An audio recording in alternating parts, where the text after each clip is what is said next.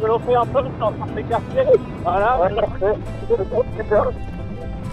On le là.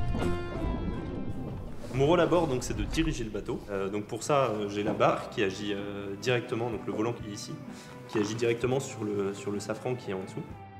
La première chose à faire, une fois qu'on a décollé le kite, c'est de lâcher les amarres.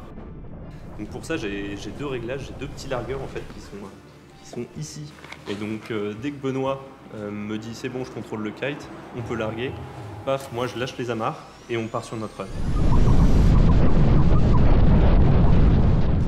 Pour le, pilotage de l'aile, il y a deux commandes. Du coup, dans ma main gauche, je vais avoir un volant. Euh, bah, en tournant gauche-droite sur plus ou moins euh, 7 tours, je vais pouvoir du coup diriger l'aile, donc la positionner plus ou moins haute dans la fenêtre de vol. Et dans ma deuxième main, dans ma main droite, j'ai un levier qui est connecté à une pompe. Donc ce levier, en faisant des allers-retours, je vais augmenter l'angle d'attaque de l'aile, donc augmenter la puissance que génère le kite. Et en tournant la poignée euh, que j'ai dans la main, donc c'est vraiment une poignée de moto, donc en faisant un quart de tour avec la poignée, ça va venir euh, ouvrir le circuit, relâcher la puissance. En fait, c'est notre moyen de réguler la, la force générée par le kite et du coup un peu de réguler la vitesse du bateau. Et du coup, il y a aussi un écran qui retransmet en direct euh, l'image d'une caméra qui est à l'arrière du bateau. Donc ça permet d'avoir de la redondance, vu que je pilote l'aile uniquement avec euh, le visuel, permet d'avoir de la redondance.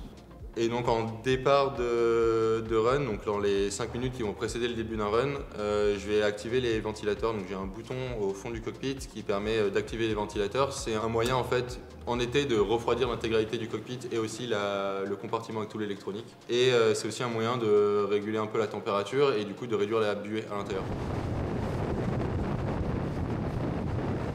Et dès qu'on est aux alentours de 25-30 nœuds, il y a un autre réglage que je dois lâcher. C'est une valve hydraulique, c'est un réglage hydraulique. Parce que quand on part avec le bateau, le, le bras du kite, il est, euh, il est bloqué. Et arrivé à 30 nœuds, on doit le débloquer pour stabiliser le bateau euh, dans les hautes vitesses. Sur le ordinaire Ouais, parfait. Ok.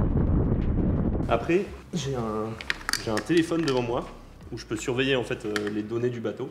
Dessus, j'ai euh, la distance et l'angle à la plage, donc savoir en fonction des fonds si je m'en rapproche, si je suis bien.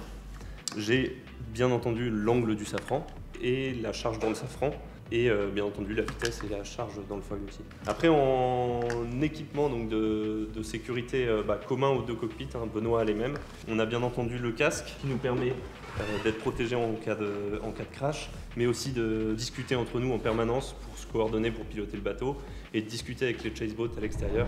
Moi, le safran, c'est à 0 degré et je suis à 160 mètres de la plage. Donc euh, on est installé euh, dans des sièges baquets qui ont été faits euh, bah, sur mesure pour nous deux, dans lesquels on a des harnais 6 points qui nous maintiennent vraiment très serrés dans le bateau, vraiment harnachés. Donc ça c'est en cas de choc, vraiment pour pouvoir bah, rester en position et prendre le moins de, décélération possible. Autre élément de sécurité principal qui est commun aux deux cockpits, donc c'est le largage du kite. Ça c'est génial d'avoir un kite pour le bateau, c'est que si on a un problème, on appuie sur un bouton le kite s'en va. Donc on a deux boutons ici. Donc le premier bouton, le plus gros, c'est celui vraiment en cas d'urgence, on le trouve directement, paf, on appuie dessus, ça largue le kite avec un largueur mécanique et aussi avec un largueur explosif pyrotechnique, ça coupe les lignes. Après, on a le plus petit ici qui est juste le largueur mécanique. À la fin d'un run, par exemple, on pose l'aile, on veut la séparer du bateau, tac, on appuie dessus, tranquille, et on revient en haut du run. Ok, on arrive. Et ce petit bouton, on l'a aussi euh, du coup avec une poignée ici au cas où. Et si jamais, au-delà de ça, euh, tout se passe euh, mal et qu'on se retrouve avec le bateau à l'envers qui commence à se remplir d'eau, on a aussi des masques euh, qui prennent le nez et la bouche et qui ont une valve qui permet de détecter la présence d'eau, donc soit le fait d'être à l'envers ou d'avoir de l'eau. Ce qui fait qu'on l'a en permanence sur le visage pendant la navigation, on a la communication à l'intérieur. Et si jamais on se retourne, euh, automatiquement il va aller puiser l'air euh, non pas euh, dans le cockpit mais dans la bouteille d'air comprimé. Ce qui nous permet du coup d'avoir environ 10 minutes d'autonomie par personne dans l'eau, sachant que depuis l'intérieur, on peut tirer, on a deux poignées, donc deux poignées jaunes qui permettent de larguer les verrières, donc de tirer sur ces câbles et à ce moment-là on peut s'extraire. Donc le but c'est vraiment qu'on sorte par nos propres moyens.